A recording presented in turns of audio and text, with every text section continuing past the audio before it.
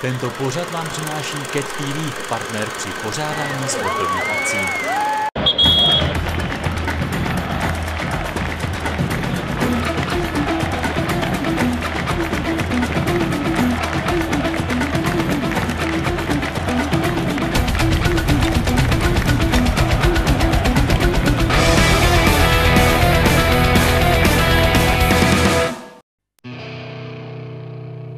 Dobrý den, vážení sportovní přátelé, jmenuji se Jaroslav Melichar. Odehrál jsem za Teplický fotbalový klub 284 ligových utkání a v nich nastřílel 57 branek. Tyto statistiky překonal Pavel Verbíř. Pojďte se se mnou podívat na jeho příběh. První zápis ve fotbalové kronice, kterou malému Pavlovi Verbířovi založil jeho strýc, je z 8. července roku 1979. Jeho první fotbalové krůčky vedl jeho otec. Je, dobrý den, ahoj, ahoj, ahoj. Tady byla brána, tamhle z toho rozumíš se o tam teď kopalo, tadyhle bylo to už je zadělaný čtyři. Sparta, Slávie, Bohemka, to a on levou, to a to jsme vždycky si zapisovali, kdo s kým, kdo a kolik, kdo dal, kdo dal gólu. Tenkrát, když se tomu říkala ještě přípravka jako před, před žákama, co bylo, tak to byl přesně tak rodinný podnik, protože trenérem byl teďka ze Strejdou a hráli jsme tam uh, společně s bráchou a dva bratranci, takže vlastně de facto půlku družstva tvořili zástupci naší rodiny. A tohle to je jeho. Pojďte se podívat. Co on? No. A tady prostě to si všechno vy, vystřihoval. Trávil jsem tady možná daleko asi víc času než doma, protože po návratu ze školy taška letěla do kouta, jak se říká, rychle převlíknout, rychle doma něco pomoct, kolikrát jakoby na oko a, a rychle jsem mazal sem, protože e, míč, míč pod trikou, míč na kolo a šup. A byli jsme tady s klukama. No. Teďka tady jsou krámy, že jo? Ale jinak tady byl, tady byl, tady měl gauč, tady měl skříň a tady měl ještě, to jsou hračky ještě a, a dáme to meruny, meruny po něm, no. Jak vzpomínáš na svůj první zápas za žáky? Co se ti vůbec vybavuje? Vzpomínám přiznání strašně rád, protože vím, že to bylo 7. července 1979, bylo to na Mělníku na Škvárovém hřišti a, a ten zápas skončil 2-2 a mě se povedli dát dva góly. Pro něj 5, 6 až 8 gólů nebylo problém, protože v těch, v těch malých skutečně, skutečně, vynikal. Co se týče žákovského věku, který vlastně počítám do 14 let, tak, tak určitě musím vyzvinout jméno pana Linharta, který mě trénoval v Neratovicích tři roky a to byl takový, takový druhý můj fotbalový táta, jak se říká, protože ten prostě tréninky a tohle to mě úplně eh, jakoby doslova unes tím přístupem k fotbalu a, a na toho vzpomínám určitě z těch žákovských let taky hodně. V roce 1993 vstupuje do fotbalového klubu podnikatel Petr Friedrich a spolu s ním přichází i dlouholetý ředitel František Hrdlička. Oba mají přání vybojovat postup do první ligy. Tak to bylo hodně těžký, ale ten cíl ani tak nebyl jako postoupit, ten cíl byl spíš jako ten klub stabilizovat a, a vyřešit ty problémy, které tady byly. Problémy se stadionem, který byl v katastrofálním stavu, že jo? problémy s hráčema, problémy ekonomického rázu, kde prostě nebyly ty peníze a ty lidi, kteří to tady přede mnou dělali, byli už zcela vyčerpaný, protože už si s tím nevěděli rady a my jsme měli tu možnost, že jsme měli cestu k finančním prostředkům, takže jsme to řešili. Buď vybudovat klub v Bystřanech, anebo tady v Teplicích. Tenkrát po odvolání pana trenéra Bokši vlastně přišel pan Cermon, který se vracel z Kypru a, a na jeho větu si pamatuju do dneška přišel a samozřejmě nás pozdravila, věta zazněla, přišel jsem sem proto, aby tady byla liga, ta liga tady bude. A ona tady opravdu příští rok se nám to povedlo vykopat. Tvrdý, bojovný, eh, silový mužstvo, který bylo schopný od samotného začátku, hlavně v zápasech doma, jestli chcete postoupit, musíte hlavně umět ty soupeře doma porážet. A my jsme to měli postavený na takový silový hře e, s vysokýma hráčem a měli jsme i díky tomu velmi dobrý standardky, na kterých se právě s tou kopací technikou Pavel Relvíz taky podílel, kdy ty vysoký hráči z těch rohů a aby jsme dali moře gólů právě po rozích a teprve, když se to rozjelo, tak jsme začali dávat ty góly i z pole, protože všichni jsme chtěli bránit. A my jsme měli třeba 25 rohů a kdyby jsme neměli tu sílu při těch standardkách, tak jsme ty góly těžko dávali. Že? To bylo nejklíčovější období v historii tohohle klubu. To bylo buď a nebo. Buď ten klub zanikne do opravdy a, a, a zmizí v propadlišti dějin, nebo prostě bude, protože v té době, když pan Friedrich končil, tak já jsem přebíral ten podíl tady. Stal jsem se majitelem, nebo ne já, ale moje firma, že jo, a, a byl to byl klíčový moment, protože jsme věděli, že my to můžeme akorát chvilku tady táhnout, jinak, že nemáme žádnou budoucnost prostě, takže to byl klíčový moment jednání ze sklárnou. A vždycky to tak bylo a vždycky to tak bude. Pokud teplický fotbal bude spojený se sklárnou, tak má šanci prostě fungovat. Pokud nebude a nenajde se v tomhle regionu a nevyroste jiný silný partner, tak to vždycky s teplickým fotbalem bude hodně špatně. My jsme byli domluveni, že jak postoupíme a já e, tady se e, budu podílet nebo zachráníme tu první ligu tady, takže další trenér už dá do toho mužstva daleko víc fotbalovosti a daleko víc té chytrosti, která v té lize musí být, aby to mužstvo se netrápilo. Utkání Plzně s Teplicemi padla první branka až v 83. minutě. Postaral se o ní útočník teplického nováčka Verbíř. Samozřejmě na tohle se nezapomíná, vlastně mě se, mě se, já měl to štěstí, že se mi to povedlo hned ve svém prvním ligovém zápase, bylo to vlastně 11. srpna 1996 na stadionu v Plzni, kdy jsme uhráli remízu 1-1 a mně se povedlo dát hned úvodní gol Teplic. Vím, že Pepikus mi nahrával, vlastně já jsem kolem prostřelu brankáře Vosiku levou nohou. Už teda šel jako žák, rozumí, dáme do Sparty, protože takhle, on šel do Sparty, jinak byl od malička slávista, slávista. Tam byl trenér Havlík a on říkal, co takovýhleho úsmrkance mrňavýho, co tady budeme, co on bude tamhle hrát. Já vám dobře, nechcete ho tamhle, nebudu vám ho nabízet, nebo to, nemáte o něm zámě, řekste, že je mrňavý, že Bůh ví, co dáme. Dobře, mi přijeli domů. Druhý den se odvěřili tady dveře a přijela Sparta. Hned ho bereme. A od té doby hrát za ty, ty tři roky za Spartu. Protože tenkrát vlastně já jsem byl kmenovým hráčem Sokola Obříství a, a Sparta přijela na jednání, který spíš režíroval můj otec, který to měl všechno pod palcem a já nevím, tenkrát ta přestupová částka asi byla 100 tisíc plus nějaký hrácký eh, materiální vybavení jako v podobě drezu nebo či míčů, takže z tohohle vlastně z toho přestupu Sokol Obříství, který eh, vlastně na tom přestupu asi nejvíc viděl v historii. Mě asi mohlo potkat to nejlepší, protože první zápas ve spartianském drezu bylo hned derby pražských S. Se Sláví se jsme prohráli 2-0, ale pro mě to byl strašně velký zážitek v té době.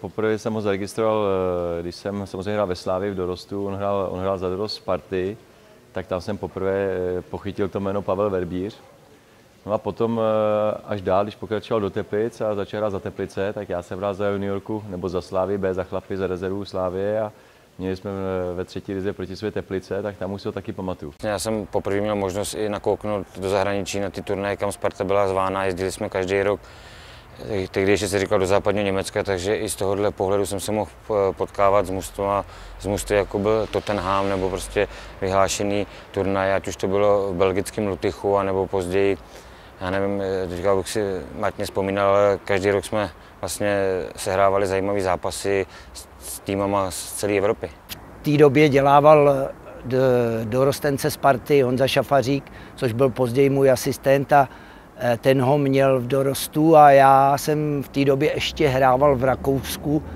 ale dělal jsem si trenérskou praxi, takže jsem mu často dělal individuální tréninky a Pavel Verbíř, Patrik Berger, to byli jedni z těch, kteří se těchto tréninků zúčastňovali. Jsem se asi nejvíc přátelil eh, v žákách a později tom dorostu s, s Petrem Dvořákem, se kterým vlastně jsem chodil nejenom na fotbal, ale i do školy, takže u něj jsem, u něj jsem přespával. Že když takhle třeba byli, bylo třeba měli volno, anebo o prázdniny, tak právě v té chatě tam kluci třeba spávávali. To byl kluka velký kamarád, který později vlastně po rok nebo dva po skončení zemřel na zákeřnou nemoc a to pro mě bylo asi to největší eh, zklamání tedy z toho působení Sparty, protože to byl kamarád a fotbalový eh, já nevím, bych to řekl kolega parťák ze zálohy, se kterým jsem vlastně pět let trávil hodně času a i rodiče se dobře velmi poznali, takže to byla dost, dost podstatná rána do života. A Pavla mrzí nejvíc dodnes, že ho tenkrát trenér nepustil na jeho pohřeb.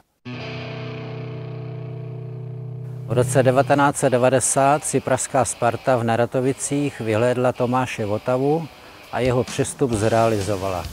Jako hráčská výměna naopak do Neratovic šel Pavel Verbíř, tenkrát do druhé fotbalové ligy a současně v prvních utkáních prokazoval své střelecké schopnosti. V letě jsem po ukončení dorostenecké kategorie nastoupil tady na přípravu do Spolany a, a během té podzimní sezóny jako nováček mezi seniorama se mi povedlo dát pět gólů ve druhé národní lize, mimochodem do této brány tři, takže na tuhle bránu rád vzpomínám a jsem rád, že to vlastně byla branka, eh, kde jsem začal střílet góly mezi dospělými. Tak je to jedna ze situací, na kterou určitě nezapomenu, protože Eh, jsou to výjimky, kdy se jdete podívat na fotbal a okamžitě vás zaujme hráč a jste téměř přesvědčen o tom, že je to hráč eh, s obrovskými předpoklady. Bylo to v době, kdy jsem byl trenérem Teplic, začal jsem tam trénovat v roce 91 a šel jsem se dívat na našeho budoucího soupeře do Neratovic. A v těch Neratovicích na hrotu hráli dva relativně malí, ale vynikající fotbalisti. Pavel Verbíř a Klouček. Tam se prostě nabyl přesvědčení, potom ještě, když jsme se byli podívat jednou, že je to hráč, kterého bychom do Teplic měli získat. Jsem strašně rád, že se to podařilo. S prvními úspěchy v nejvyšší soutěži přišla Pavlovi pozvánka do Národního mužstva a bylo to utkání v Jablonci s Islandem. Já jsem odehrál jako nováček vlastně v lize čtyři zápasy a hned po čtyřech zápasech přišla první pozvánka na první e, přátelský zápas vlastně po vydařeném euru v Jablonce proti Islandu. Jsem samozřejmě ten signál měl, že bude Pavel nominovaný k reprezentaci, že je v širším kádru a, a že potom je v tom užším kádru, takže jsem to věděl. Vlastně před měsícem jsem klukům fandil vlastně u televize a za měsíc jsem seděl s nimi v kabině, takže pro mě to byla ohromná odměna. Tak samozřejmě se na ní vzpomínám, protože jsme eh, nejenom spolu, ale hlavně proti sobě se hráli spousty utkání a, a eh, na každého kvalitního fotbalistu si eh, vždycky vzpomenete, protože Eh, máte v mysli, měli jste před nima respekt a, a eh, samozřejmě jste je i respektovali. Že by teď? Pavel Verbíř oslavuje svůj první start v kvalifikaci gólem na 2-0. Bylo to vlastně v závěru kvalifikace eh, proti Farskému ostrovům na Spartě vyprodaná letná, vlastně postup už byl zajištěný, ale ale byly to hezké oslavy a já jsem byl rád, že se, se mi povedlo dát po centru Karla Povorského hlavičkou góla. Je pravda, že on, on tam byl v době, kdy, kdy ten národák byl skoro na vrcholu nebo nej, nejvejš, eh, kdy třeba říct, že kdy to opravdu hrálo 12, 13, 13 kluků furt dokola. Jako řada dalších jiných měl trošku smůlu, že opravdu potkal takovou tu, opravdu tu, tu dobrou generaci v té reprezentaci, ta konkurence tam byla obrovská. A myslím si, že kdyby třeba momentálně ten Pavel, Pavel měl těch 22, 23, že by těch zápasů v tom národňáku odehrál rozhodně víc. Ale já si myslím, že on svoji roli měl v tom, v tom eh, kádru širším a, a oprávněně se tam vyskytoval.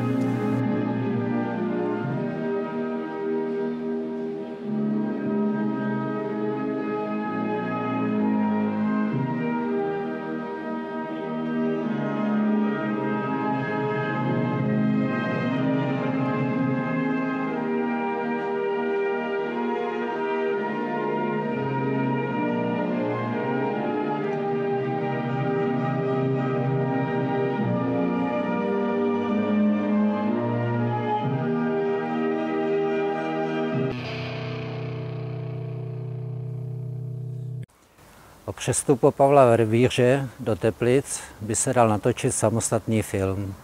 Nepřeženu, když řeknu, že jeho přestup se zrealizoval za láhev Slivovic. Tak eh, tím, že jsem eh, věděl, že vlastně, nebo vědělo se o tom, že v lednu budu rukovat a během, už během podzimu jsem měl náznaky, že vlastně Dukla Praha věděla, že se chystám na vojnu, tak prostě zlákala mě a, a bylo to domluvené, takže budu se hlásit na Julisce. V Praze existoval člověk, nějaký pan starý, který miloval fotbal, jezdil po všech utkáních do Rostenecké ligy, jezdil po zápasech dospělých od divize a nahoru.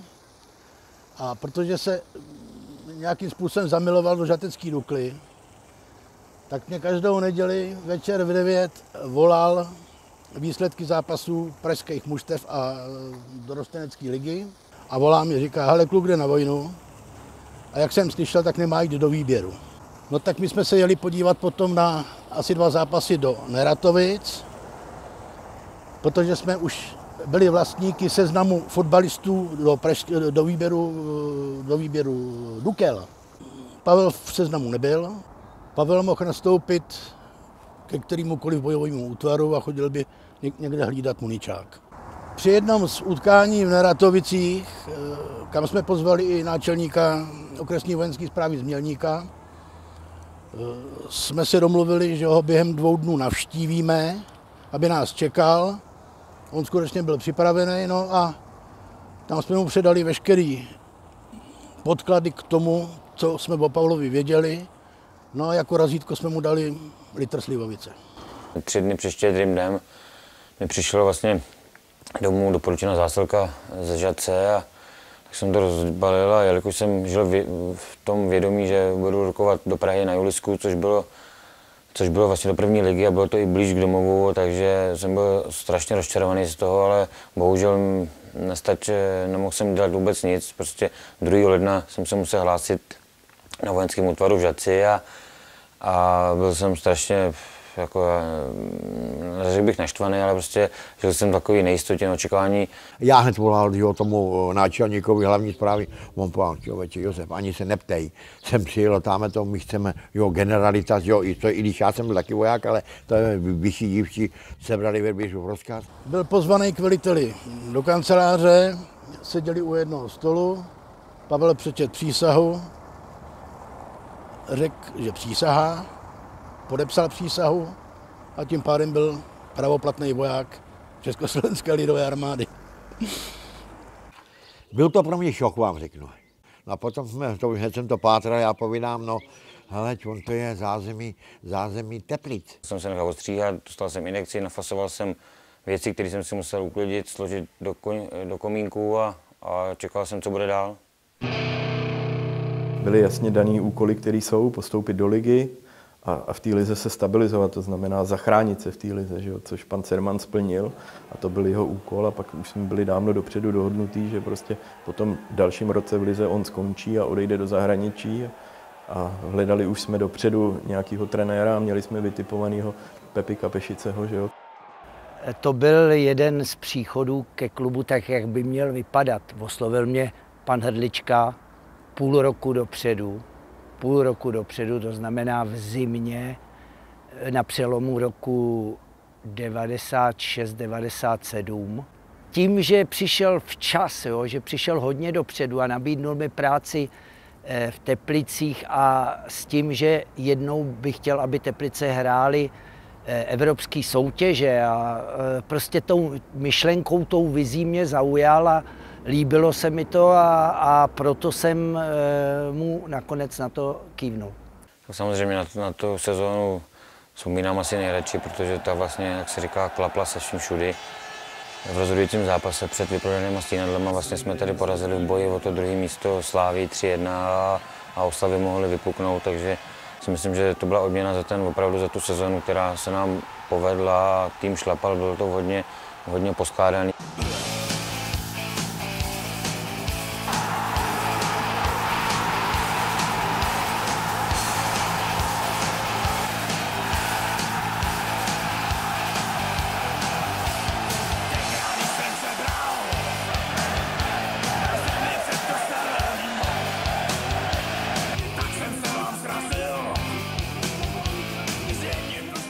Že tenkrát vlastně tu kostru, kostru týmu tvořilo 13-14 hráčů, kteří, kteří šlapali a chtěli být na tom hřišti všichni a my jsme to měli tak udělané vždycky pan Pešice, pět hráčů řekl, že bude bránit a pět jich bude útočit, takže my jsme se starali, de facto to bylo největší tý a vlastně zodpovědnosti směrem dopředu. Mě bylo 12 let, tak nějak, počítám to dobře, jo. No, a to jsem tady, to jsem tady ještě vlastně nebyly dodělaný ty, ještě nebyly dodělaný vlastně, byla taková hlavní tribuna, ostatní bylo nezastřešení a hrálo se tady vlastně, říct, to bylo asi jeden z největších úspěchů Teplic, kdy, kdy se uhrál tady druhé místo, kdy, kdy tady byla obrovská euforie, stadion byl vyprodaný úplně na padr, takže tenkrát jsem nějak jakoby, tam si asi pamatuju jako nejsilnějšího. No. Tam jsem jakoby, tam byl asi vzorem každého kluka, který tady hrál Teplice. jsme ta, s Radkem Diveckým, s Petrem Fouskem, s Míšou Kolomazníkem, s Dušanem Tesaříkem, to byla taková, a ze nám kryli vlastně Zára Míša Bílek, Zdeno Frtěl a Marian Řízek, Míra Rada, Petr Brabec, Zbigněk Krampáček, v bráně byl Macháček, takže tahle sestava vlastně, těch 13-14 hráčů prostě táhlo za jeden provaz a s panem Pešicem jsme to dokázali.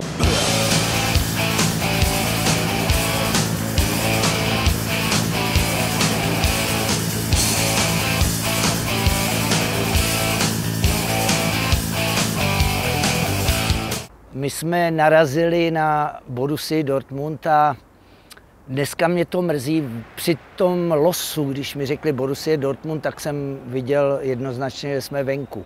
Těch hráčů, kteří tam byli, tak prostě to byl zvuk, že jo, to bylo, já nevím, jak, jak starý to byly vítěz ligy mistrů, ale my jsme se na ten zápas strašně moc těšili a, a všichni favorizovali Borussia Dortmund a já jsem o to víc rád, že, že jsme v tom té konfrontaci nepropadli a naopak byli jsme blízko senzaci. To mužstvo bylo tak ambic, ambiciozní a bylo i kvalitní, naše mužstvo teda myslím, a, a mělo na to, aby, aby prostě e, postoupilo do ligy mistrů. Jediný, co mu v té době chybělo, bylo, byly zkušenosti z, z mezinárodních zápasů z těchto evropských soutěží.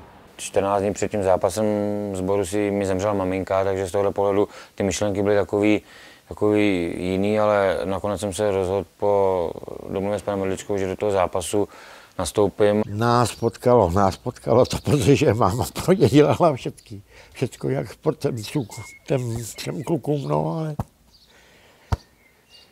no, tak jsem byl dva roky sám. A vím, že tohle bylo pro něj hodně těžký období a, a já v té době jsem si hodně vážil a cenil toho, že i přesto prostě, protože vím, že on obrovsky lpí na rodičích, jako prostě co to bylo, že, že to prostě nedal najevo a, a šel hrát a, a hrál ten. Možná, že to byl pro něj nějaký únik z, z těch problémů. Z ligy mistrů z předkola jsme vlastně naskočili do poháru UEFA a i tam jsme dostali zajímavou soupeře Ferenc Vář z Budapešti v době se dal, se dal překonat a nám se to povedlo a pak eh, ve druhém kole byla nad naše síly už Real Malorka.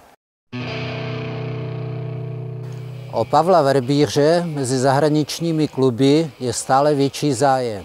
Nikdo však nepřichází s nabídkou, která by byla zajímavá jak pro vedení fotbalového klubu, tak pro samotného hráče. V té době jsme, jsme my jako Teplice nebo já odolával několika zajímavým nabídkám Pavla uvolnit. Že jo. Tenkrát měl agenta pana Nehodu.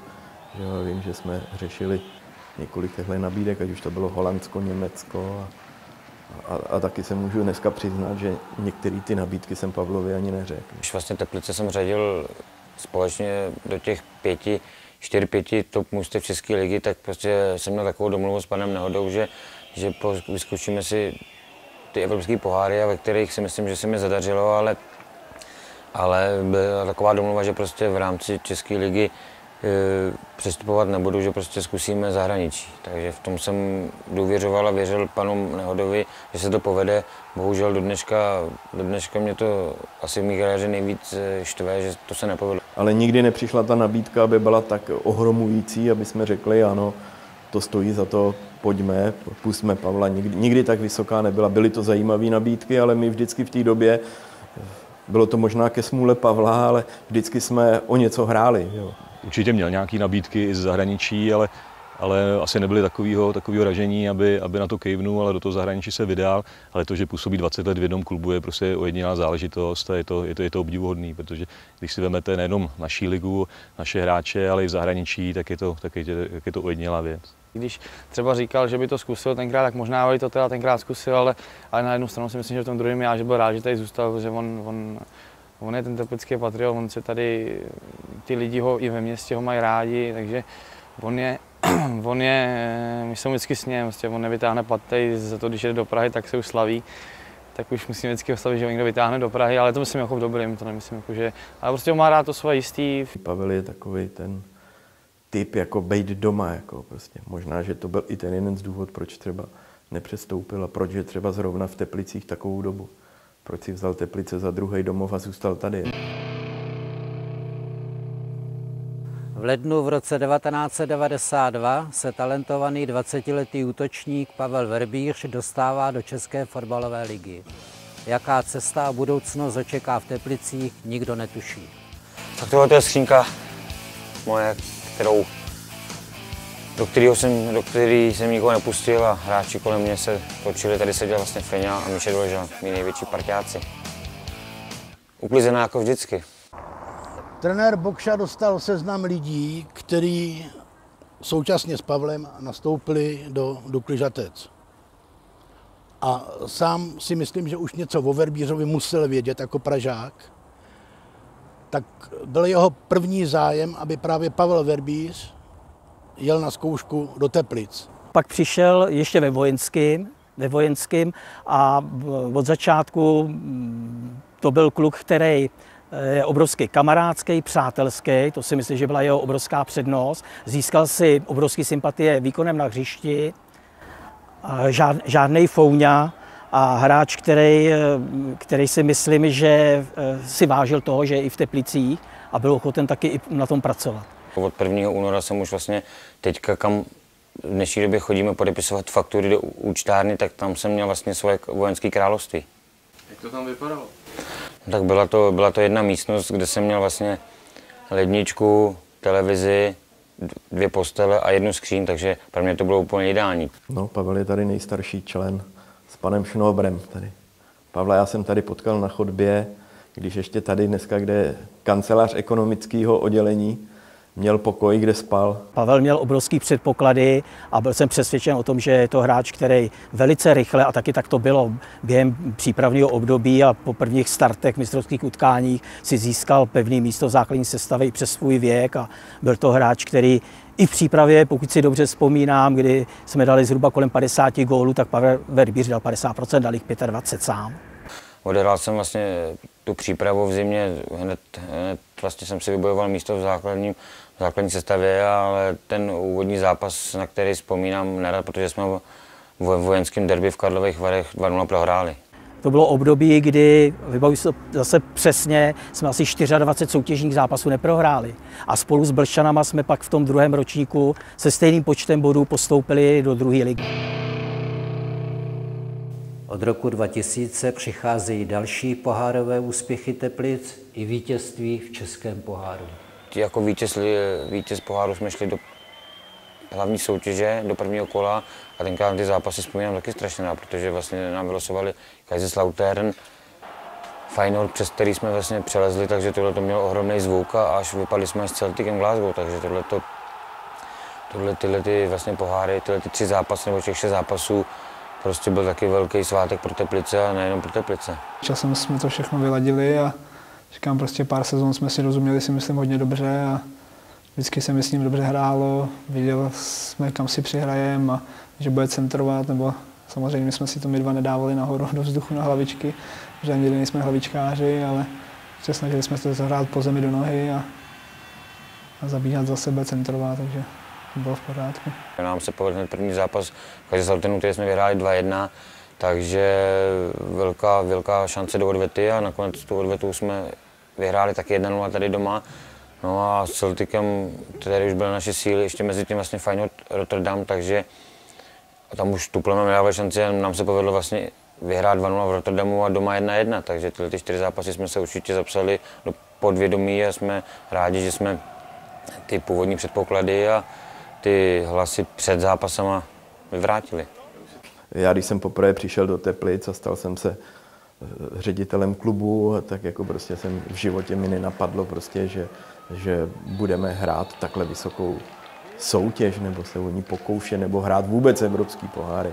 To prostě pro mě byl sen prostě dostat Teplice na zpátek do ligy, kam patřili a, a udělat stadion, takže pro mě, pro mě osobně to byl vrchol. A, a myslím si, nejenom ten, ale všechny účasti v evropských pohárech, který Teplice hrály.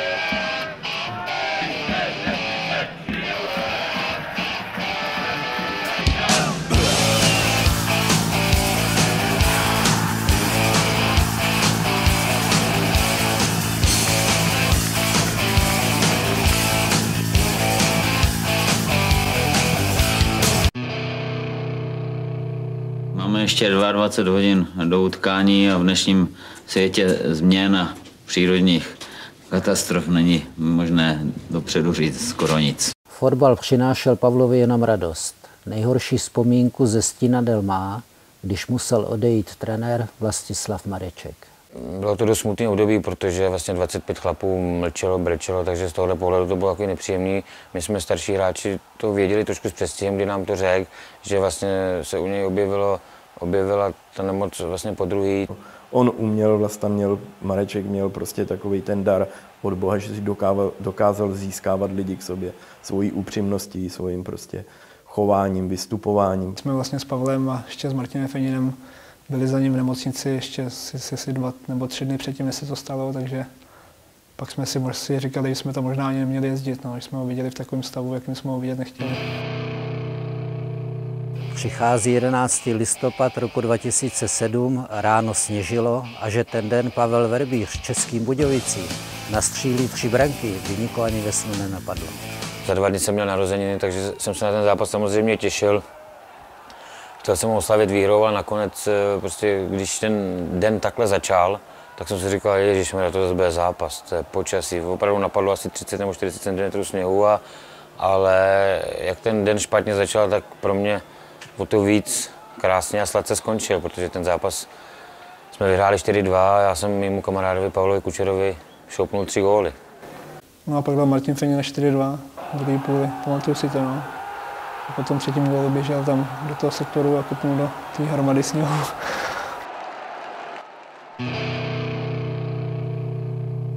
To, že Pavel Verbíř nebyl nikdy vážněji zraněn, je asi dílem přírody. Přístup k fotbalu, k tréninku se snaží vštěpovat i svému synovi. Takový hráč, který patřil mezi ty, který mi e, prakticky vůbec nikdy, když jsem si dělal sestavu na zápas, té nominaci nechyběl, protože byl minimálně zraněný, e, trénoval poctivě.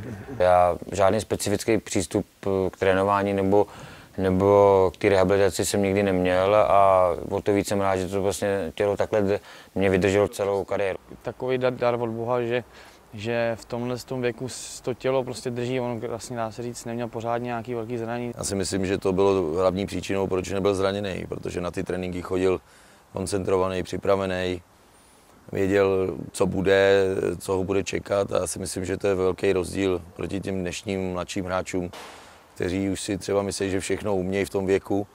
Jdou na ten trénink nekoncentrovaný, nepřipravený a proto si myslím, že i vzniká dost těch eh, zranění u těch mladých hráčů. On je taková ukázka, že lze celkem stabilně držet formu 15 let eh, v, v, ve špičkovém fotbale.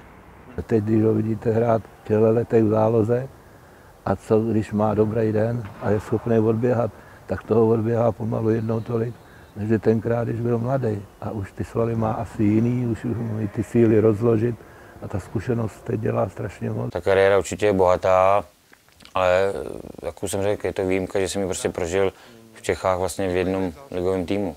Ta spojitost je, je prostě výjimečná. Myslím si, že jednou by se doopravdy ten stadion mohl nebo měl jmenovat stadion Pavla Verbíře.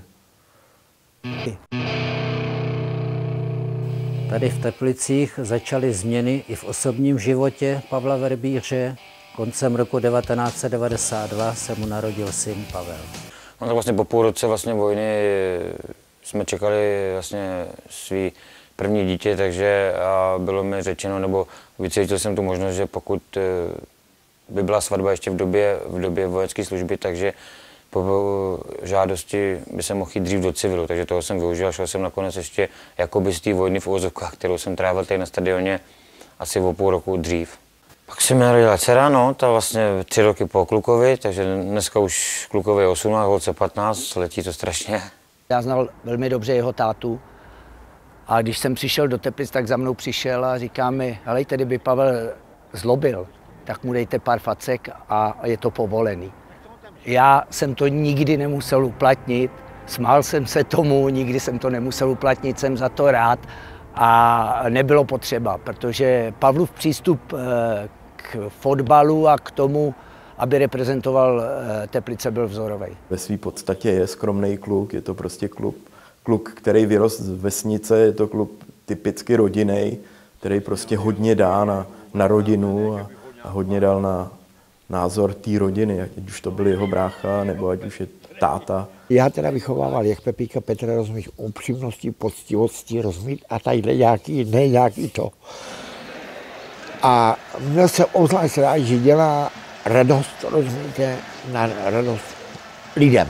Pavel nebyl jenom, jak bych to řekl, jenom bezproblémový hráč, taky měl svý období, jako, taky jsem to, to s ním musel řešit a, a řešit jiné věci, ale, ale jako prostě samozřejmě tím, že Pavel je tady 20 let skoro a, a já to samý, takže jsme prožili, takže máme k sobě trošku jiný vztah.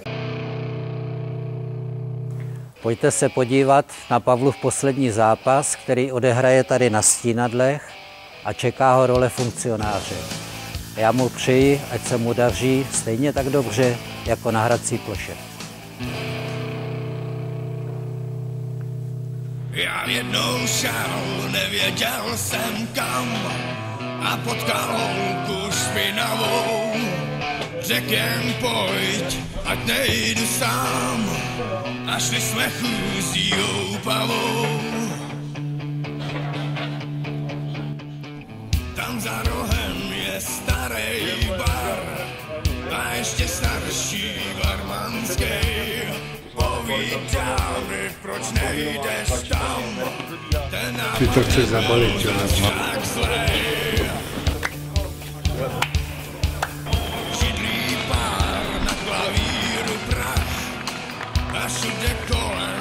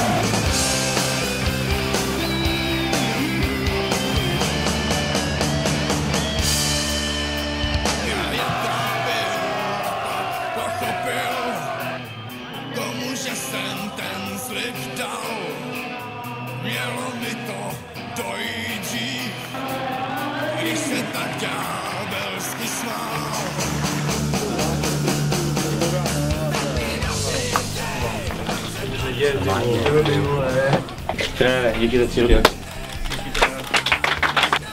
Ty emoce jsem dal s ním průchod a myslím si, že to loučení s divákem bylo nádherný. Tak Samozřejmě to splněný, splněný velkýho snu, že jsem se mohl zahrát s klukem na konec kariéry posledních 10 minut. Moc bych rád na to zastoupil po tom teďku. Chtěl bych pokračovat jako on a uvidíme, co bude dál.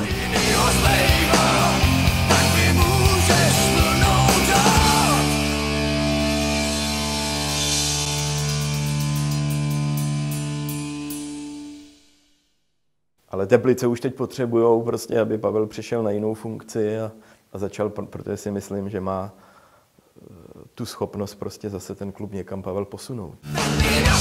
Děj, ať se to tu trochu hejba, dneska je